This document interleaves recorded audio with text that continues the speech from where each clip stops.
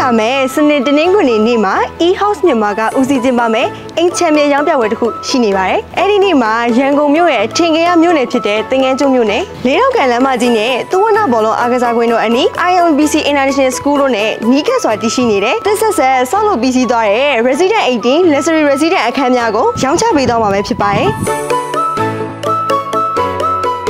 Resident AD က facility တွေနဲ့ပြည့်စုံနေတဲ့အဆင့်မြင့် luxury resident တစ်ခုဖြစ်ပြီးရန်ကုန်မြို့ရဲ့လူကြိုက်များတဲ့မြို့နယ်မှာစောင့်လုပ်ထားတာကြောင့်ကိုယ်တိုင်နေထိုင်နေတာပဲဖြစ်ဖြစ်ရင်းနှီးမြှုပ်နှံနေတာပဲဖြစ်ဖြစ်အထူးသင့်နေရပါတယ်။ဒါအပြင်အယောင်ပြပွဲနေ့မှာလာရောက်ဝယ်ယူမဲ့ customer များအတွက်အထူး promotion အစီအစဉ်ကြီးလည်းရှိနေပါတယ်။အဲ့ဒါကတော့အခန်းတန်မိုး30ရာခိုင်နှုန်းကိုပေးချေပြီးရုံနဲ့လာရောက်နေထိုင်လို့ရမယ်အစီအစဉ်ပဲဖြစ်ပါတယ်။ဒါကြောင့် luxury resident တစ်ခုမှနေထိုင်ဖို့ငွေအလုံးရင်းကုန်စရာမလိုတဲ့အစီအစဉ်မှာပါဝင်ခြင်းနဲ့ဆိုရင်တော့အခုလာမယ့်စနေတနင်္ဂနွေနေ့တွေမှာစမ်းကြောင်းလန်စမ်းကြောင်းကားရဲ့ resident မှာကျင်းပမယ်။အိမ်ချမ်းမြေရောင်းပြပွဲမှာလာရောက်ဝယ်ယူဖို့အတွက်သတင်းကောင်းပိုင်းဖိတ်ခေါ်လိုက်ရပါတယ်ရှင်။